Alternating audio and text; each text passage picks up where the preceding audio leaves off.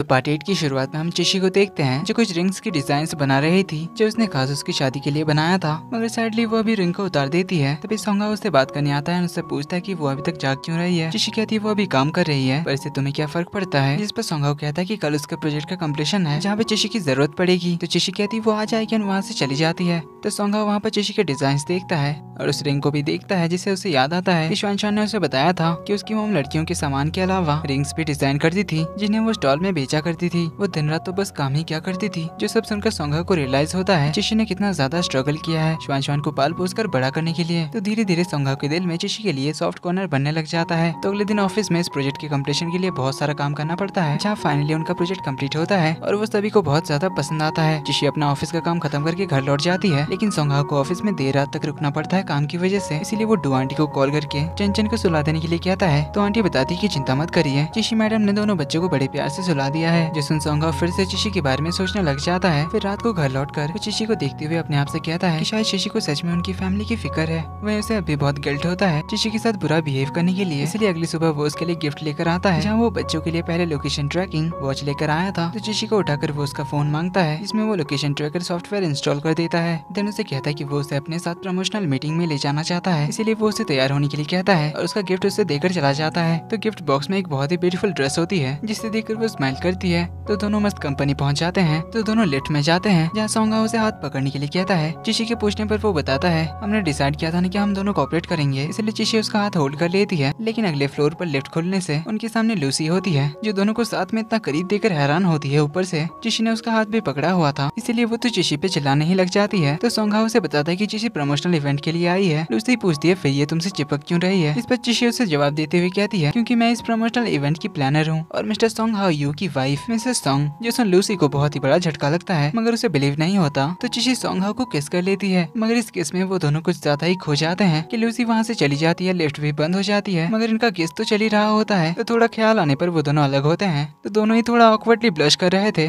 सोंगा कहता है की तुमने अच्छी तरह से मैनेज किया। तो चिची कहती हाँ वो तो मैं थोड़ी ज़्यादा प्रोफेशनल बन रही थी, ताकि उसे कोई डाउट ना हो, लेकिन वो तो ब्लश किए जा रही थी। अब इधर प्रमोशनल इवेंट में सोंग हाउ सभी के सामने चिशी को अपनी वाइफ इंट्रोड्यूस करता है, जो सुन पहले तो चिशी शॉक्ड होती है। मगर उसे खुशी भी हो रही थी। तभी सेक्रेटरी उसके होठों की ओर इशारा करते हुए बताता है कि उसकी लिपस्टिक बिगड़ गई है। इसलिए उसे ठीक करने के लिए चिशी थोड़ा बाहर जाती है। अब उसके पीछे पीछे वहाँ पर लूसी भी आ जाती है, जो आकर उसे कहती की अच्छा एक्टिंग कर लेती हो तुम, मगर मुझे पता है की तुम्हारी शादी सच नहीं हो सकती, क्यूँकी मैं सोंग को बहुत ही अच्छी तरह से जानती हूँ। अगर उसने तुमसे शादी किया भी होगा तो उसका कोई और ही मतलब होगा। लेकिन चिशी भी उसे अच्छा जवाब देती है। तभी जुन वहाँ पर चिशी को ढूंढता हुआ आता है, जो पहले लूसी को वहाँ से भगाता है तो चिशी जुन से लूसी के बारे में पूछने लग जाती है। तो जुन बताता है कि वो लूसी थोड़ी गर्म दिमाग वाली लड़की है जिसे लगता है कि सोंगाओ के लिए उससे बेहतर कोई और लड़की नहीं हो सकती। ऊपर से वो उसकी फैमिली फ्रेंड भी है। इसीलिए लूसी उसके पीछे हाथ धोकर पड़ी रहती है। चिशी उससे पूछती है कि उसे कैसे पता चला कि वो यहाँ पर है, जिस पर जुन बताता है की सोंगाओ ने उसे पहले ही इशारा कर दिया था, क्यूँकी उसने चिशी के पीछे लूसी को जाते हुए देखा था। तो अब जुन से लेशन के बारे में पूछने लग जाता है। लेकिन चिशी उसे लेशन के बारे में डायरेक्टली कुछ नहीं बताती। तो इवेंट के बाद सभी लोग ग्रुप फ़ोटोज़ खिंचाते हैं। तो इवेंट सक्सेसफुल होने की वजह से चिशी को फ्लावर्स देकर सम्मान किया जाता है। जो देख सोंगा उस बुके को लूसी को दे देता है उसे बताता है कि मेरी वाइफ को एलर्जी है। इसीलिए वो उसे अपने हाथों से आर्टिफिशियल फ्लावर देकर उसका सम्मान करता है। एंड इवन वो लोग साथ में फ़ोटोज़ भी खिंचाते हैं। अब चिशी को समझ नहीं आ रहा था कि सोंगा अचानक फिर से कैसे इतना स्वीट हो गया। तो वो घर पे आकर भी सोंगा के बारे में सोच रही थी। तो वो उन फ्लावर्स को भी संभाल कर रख देती है। इधर जुन ने एक्सप्रेस डिलीवरी के ज़रिए लिशन के घर का एड्रेस निकाल लिया था। तो वो उसके लिए कुछ सामान डिलीवर करने जाता है, जहाँ वो अपनी आवाज़ बदल कर बात करता है। लिशन दरवाज़ा खोल देती है। तो उसे देखकर लिशन फिर से चिड़ने लग जाती है। फिर जुन तो उससे मिलकर बहुत खुश था। तो लिशन उसे भगाने जाती है। तो जुन उसे उनकी उस रात की एक वीडियो के बारे में बताता है, जिसमें लिशन बहुत ज़्यादा ड्रंक होकर हंगामे कर रही थी तो लिशन उसे वीडियो डिलीट करवाने के लिए उससे बात करने लग जाती है, जहाँ जून तो उसे अपनी फीलिंग्स के बारे में इंडायरेक्टली बताता है, मगर लिशन को तो बस वो वीडियो डिलीट करवानी थी, इसीलिए वो उसे प्यार से बात कर रही होती है। देन जून उसे संभाल कर रहने के लिए कहता है, ऐसे ही किसी के बुलाने से दरवाज़ा वो ना खोले, वरना कुछ भी हो सकता है। अब जून वो वीडियो डिलीट नहीं कर रहा था, इसीलिए लिशन तो उसे मारने ही लग जाती है। जिस दौरान दोनों काफ़ी क्लोज आते हैं, मगर लिशन उसे घर से भगा देती है। मगर जून उसके घर के बाहर के शू रैक पर अपने शूज़ रख कर जाता है, ताकि किसी गलत इंसान को ये ना लगे कि लिशन यहाँ पर अकेली रहती है। अब जुन का ये बिहेवियर देख कर लेशन का गुस्सा उस पर से चला जाता है, फिर जुन भी यहाँ से निकल लेता है।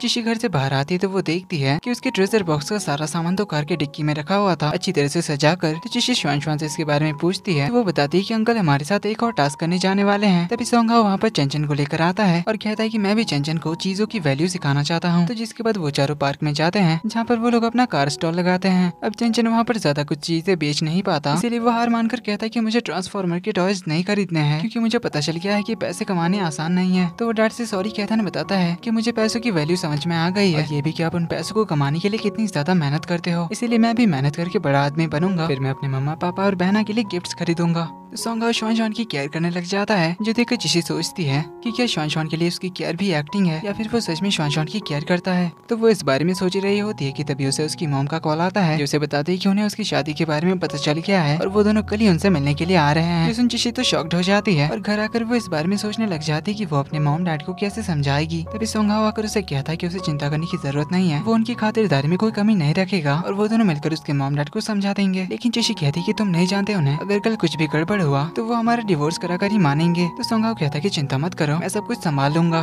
तो अगले दिन चिशी के मम्मी डैडी यहाँ पर पहुँच जाते हैं। तो सोंगाव एंड ग्रैंडपा ने उनका फेवरेट खाना बनवाया था। तो खाना शुरू करने से पहले सोंगाव उनके लिए लाया हुआ गिफ्ट देता है। डैड को चाय पसंद है इसीलिए इम्पोर्टेड चाय पत्ती गिफ्ट करता है। वही मॉम एक टीचर थी, इसीलिए वो उन्हें एक बहुत ही खास पेन गिफ्ट करता है। तो अब माता जी शुरू करती है सवालों की बौछार। वो दोनों पहली बार कब मिले थे, कब वो दोनों इतने क्लोज आ गए और इतनी जल्दी कैसे उनकी शादी हो गई। फिर वो कहती है की चिशी को तो खाना बनाना भी नहीं आता। फिर तुम्हें वो पसंद कैसे आ गई? तो सोंगाव एक एक करके उनके सारे सवालों का जवाब देता है, जहाँ शादी के बारे में वो उन्हें सच ही बता देता है की रनपा चाहते थे की मैं शादी कर लूँ। इसलिए मैंने चिशी को शादी के लिए प्रपोज किया। और जहाँ तक रही पहली मुलाकात की बात तो पहली नज़र में ही चिशी मुझे पसंद आ गई थी। और मैंने डिसाइड कर लिया था कि मैं शादी करूँगा। तो सिर्फ़ चिशी से ही। अब ये बात चिशी को तो फुल फेक लगती है। देन सोंगाव कहता है कि चिशी के साथ टाइम स्पेंड करके कि चिशी कितनी अच्छी लड़की है। अब उसकी बातें सुन मम्मी जी तो इम्प्रेस हो जाती है। पर तभी चंचन मम्मा कहते हुए वहाँ पर आ जाता है। तो सोंगाव चंचन का इंट्रोडक्शन उनसे कराता है कि चंचन मेरा बेटा है। ये सुनकर ही पापा जी तो शादी के लिए मना कर देते हैं और बताते हैं कि मुझे ये शादी मंजूर नहीं है और यहीं पर एपिसोड नंबर एट खत्म होता है। तो अब ये दोनों आगे क्या करेंगे? चिशी के डैडी को ये लोग मना पाएँगे या नहीं? देखेंगे हम अगले एपिसोड में। वीडियो पसंद आए तो वीडियो को लाइक कर देना। चैनल पर पहली बार आए तो do subscribe and hit the bell icon ताकि आगे आने वाली पार्ट्स आपसे मिस ना हो। तो मिलते हैं अगले वीडियो में। तब तक के लिए take care and bye bye